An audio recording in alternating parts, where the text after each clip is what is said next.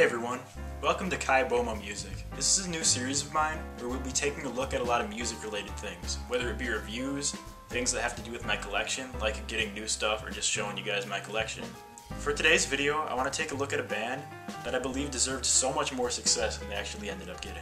This band had kind of a softer pop sound when they first started out that kind of made them drift into obscurity because a lot of the popular stuff at the time, being the late 80s, kind of overshadowed it, being more high energy and successful in the charts. The band I'm talking about today is none other than Frazier Chorus, one of the most obscure late 1980s bands that I know of. They had a pretty short career, so their discography is not a lot to go through. But regardless, there's a lot of hidden gems in there, which is why I'm making this video. I really wish I had physical copies of this music, but considering a lot of it wasn't even released in the United States where I live, I'm just gonna have to show you guys pictures of the music right here. Isn't that cool? So without further ado, let's get into a quick history of the band Frazier Chorus. Frazier Chorus first started out on 4AD, the alternative music label, in 1987. 4AD is considered by many to be one of the most important alternative music labels of all time. I mean, they had Cocteau Twins and Dead Can Dance, so they were a big deal. When Frazier Chorus were on 4AD, they only put out one release, which is their 12 inch Sloppy Heart. The first track on the record is called Sloppy Heart. I mean, what else would it be called? Sloppy Heart is like a nearly six minute long, really extravagant pop single. The song has the first appearance of the band's signature style, which consists of really whispery vocals from the lead vocalist slash frontman slash songwriter, Tim Freeman. One of the other defining aspects of this song, and just the band's music in general, is the flute playing of Kate Holmes.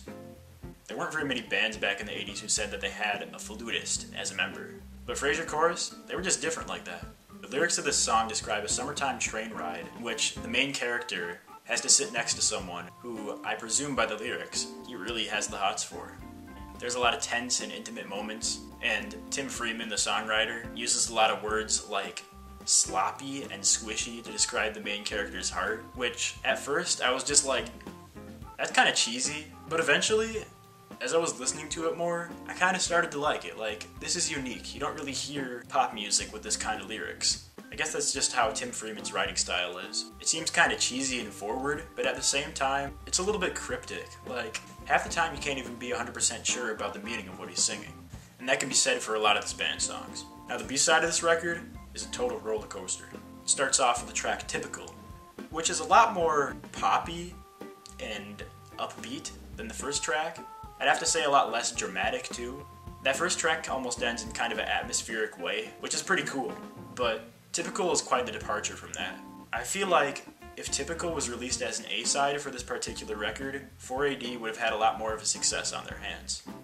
But yeah, this song is really characteristic of when it came out, which is the late 1980s, which is honestly quite different from a lot of the music that succeeded it in the early 90s, you know, grunge. Just like the A-side though, Typical still has that flute, that really distinct flute, and those vocals and the songwriting that were present on the first track. When you're listening to it, you're just kind of thinking to yourself, okay, so this is how the band sounds. But then all of a sudden, the second track on the B side, Storm, just takes that and throws it away. It's quite a change of pace. It's a lot darker than the first two songs.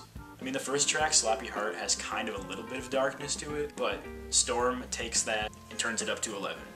They put out more tracks like the track Storm, they would have been a big hit with the 4AD audience. 4AD audience is me. But yeah, Storm is probably their darkest sounding song in like their whole discography. And that basically sums up the band's first release. And unfortunately, it was their last release with 4AD, like I said. That record didn't really have any success when it came to the UK charts, but fans of Frazier Chorus, myself included, really fondly remember it. Within a year of putting out that single, they actually signed a record deal with a much bigger record label, Virgin Records. The release date is kind of inconsistent, but sometime in 1988 or early 1989, they put out their first single with Virgin, Dream Kitchen. It's another upbeat song like typical, but with much more cryptic lyrics. Like you can't tell if he's actually singing about a kitchen or if he's singing about like something metaphorical. I don't know. Personally, I kind of see the song as like not focusing too much on your dreams so you can kind of keep reality in check. But I don't know. I'm sure that it's up to interpretation. This song actually has a really good vibraphone solo, which can't really be said about a lot of 80s songs. Like, I know there's uh, Art of Noise's Moments in Love that has the. You know what I'm talking about if you know that song. But yeah, it has a vibraphone solo, and it's really good. The single was their first success. It actually charted at number 57 on the UK singles chart. That wasn't the biggest accomplishment at the time, but it was for the band, because with their first record, they didn't have much success. After Dream Kitchen came out, re recorded versions of the songs from the 4AD single, Sloppy Heart, and Typical were released. The re recorded version of Typical actually charted even higher than Dream Kitchen, getting a 53 on the UK charts. I don't know if I like the re-recorded version of Typical better than the original, but it's still pretty good, and it still has the overall Frazier Chorus vibe to it, which I really like. But the new version of Sloppy Heart just doesn't do it for me. It's a lot more rhythmic in places where it doesn't need to be, and it just kind of obliterates the original mood of the first version. The first version was so dramatic, the song kind of creeps up on you. At first, it's just kind of a mellow song, but then eventually there's more build up and so on. If you listen to it, you're gonna know what I mean. And it also has some backing vocals at parts that I don't really think need them. That's just my opinion. It still did chart on the UK singles, but it actually got like a 73, which was much lower than typical in Dream Kitchen. All three of these Virgin singles actually have really good B-sides. I really like the B-side in Dream Kitchen, which is called Down, and all three of the exclusive B-sides on the Sloppy Heart single. One of the Sloppy Heart B-sides is actually a cover of Anarchy in the UK by Sex Pistols, and it's just so good. It's so dramatic that it's kind of funny. My opinion, it's one of the best tracks to play if you're trying to introduce someone you know to Frazier Chorus. But yeah, be sure to check out all those B-sides. After those three singles were released on Virgin, it was apparent that the band was heading in a lot more poppy direction. I'm not sure if that was a choice made by the band or by the record label. Knowing Virgin being one of the biggest record labels at the time, I'm sure that they were trying to push them along, like, come on, let's make more of a poppy sound so you can chart higher and make us more money. But yeah, next up, their first LP, called Sue, was released on Virgin Records in 1989. Sue actually borrowed a lot of the tracks from the previous singles. If I had to describe this LP in two words, it would be English Summertime. I've never been to England, but these tracks give me such a summertime vibe. And because of how British Tim Freeman sounds with his voice and his lyrics, I just have to connect the British aspect to that. They actually re recorded the song Storm for this album. Unlike the other songs, I actually like this new re recorded version even more than the original. It's just the drums. The new drums on the song are so powerful. I don't know how else to describe it. It's just as good as the original and more. There's another song on this LP that has kind of a similar vibe to Storm, and it almost goes into like 90s Depeche Mode territory, and it's called Forgetful. Forgetful perfectly encapsulates the Frazier chorus sound. It's just the instrumentation, the feel, and the lyrics that just make it, you know, Frazier chorus. In the lyrics, there's like a bitter and sarcastic edge to it that's just so Tim Freeman. It's one of the reasons why I like this band. It's a big reason why I like this band. It's because of songs like that that Sue is actually my favorite Frazier chorus record. And there's other songs like 40 Winks and Sugar High that sound like a 90s point and click adventure computer game. Like you're trying to sneak around and solve a mystery. I don't know what makes it like that. I guess it's just kind of the sort of jazzy, old school sounding feel to it. And I guess the MIDI instruments kind of contribute to that. Just I highly recommend listening to this band's entire discography. There's not much of it and it's just so good. Now the vinyl version of this LP ends with the track Ski Head. And honestly, it's a great closer track. It feels like a good exit for the album, if you know what I mean. The CD and cassette versions of Sue have a bonus track called Little Chef, and it's just such a chilled, adventurous, summery sounding song that I just, oh, it's so relaxing and it reminds me of adventures and just times that I've never had. It would honestly be a great closer track, just like Ski Head. Overall, I just really enjoyed this album, and if you had to listen to one Frazier Chorus album, I would say listen to Sue which is easy because it's actually on Spotify, unlike their last album. When I was first listening to this album, I was like, okay, this is kind of unique. I think I'm gonna actually like this once I listen to it more. And that's exactly what happened. I mean, a similar thing kind of happened to me when I was listening to the discography of uh, Prefab Sprout. But that's another video for another time. Sue did pretty okay on the UK album chart. It got number 56, which is still pretty good. It means that there was a pretty big amount of interest in the band at the time. It actually ended up being their highest charting album. Honestly, I feel like this album deserved better. I feel like they were kind of pushed by the record label to create more of a poppy sound when they could have created more songs like Storm. I really would have liked that. Like Storm and Forgetful. But yeah, the band trying to be trendy actually brings us to our next thing to talk about, which is their second LP, Ray. Now, Ray had four singles, and had two singles that did really well. Those singles being Cloud 8 and Nothing. Not only did these chart in the UK, but they also charted in the United States, albeit on the alternative and dance music charts. So I guess starting off, Cloud 8 is this incredibly catchy pop tune.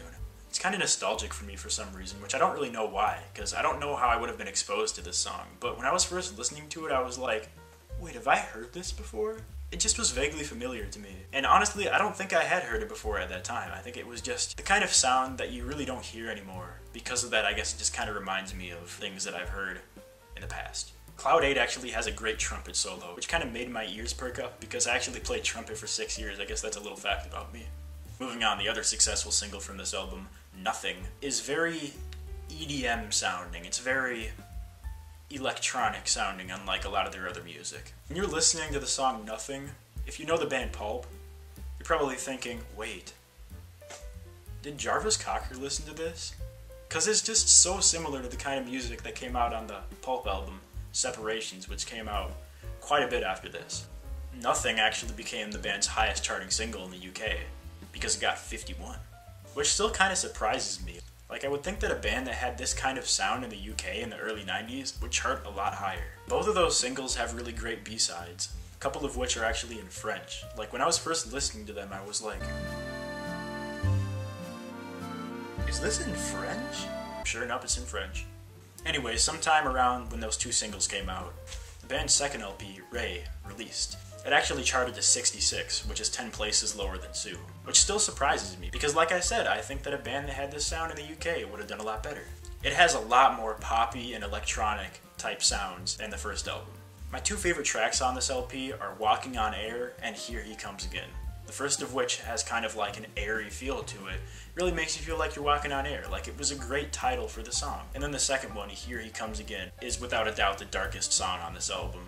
While the lyrics aren't the most dark thing in the world, it has probably my favorite use of this band's unique instrumentation. With the clarinet, just the menacing sound that they were able to get out of it is just so amazing, and it's one of the reasons why I have gone on to remember this band instead of just listening to their albums once and just being like, eh, okay.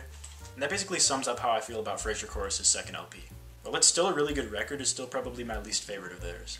That's mainly because of it having, as a whole, a kind of less unique sound than the other two albums. That album would actually be the last release by Frazier Chorus on Virgin Records, because Virgin Records was actually merging with another record label because it got bought out. According to an interview that I read with Tim Freeman, they were actually high on the list of the 60 least wanted musicians that were still on the Virgin label, which might have been a blessing in disguise. Because honestly, if they were in fact getting pushed around by Virgin Records, that probably wasn't a good environment for them which might explain why all of the band members except for Tim Freeman actually left after this record came out.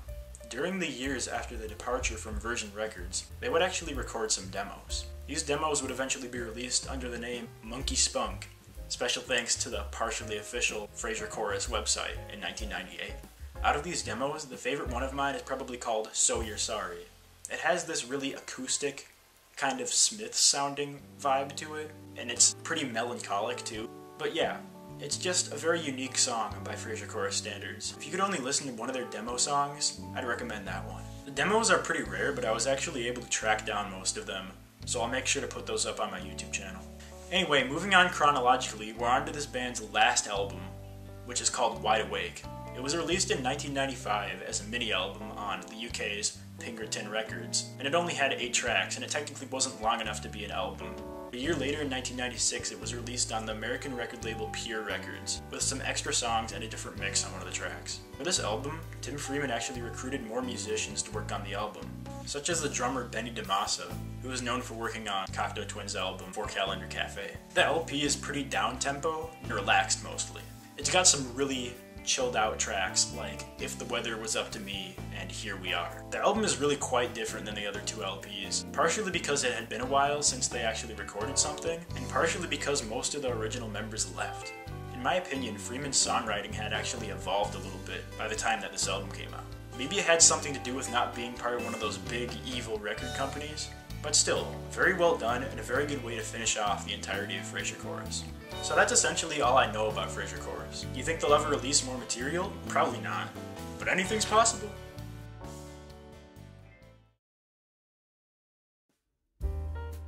Hey everyone. What you just watched was the most complicated video I've ever edited. So if you've made it this far, I want to thank you so much for sticking around. I'm really looking forward to hearing what you guys have to say about this video. So if at all possible, please leave a comment below saying what you thought. In the description box, I have some links related to this video, such as my 5 must-listen Frazier Chorus songs. Anyway, thank you all so much for watching this video, and please remember to leave feedback. See you in the next one!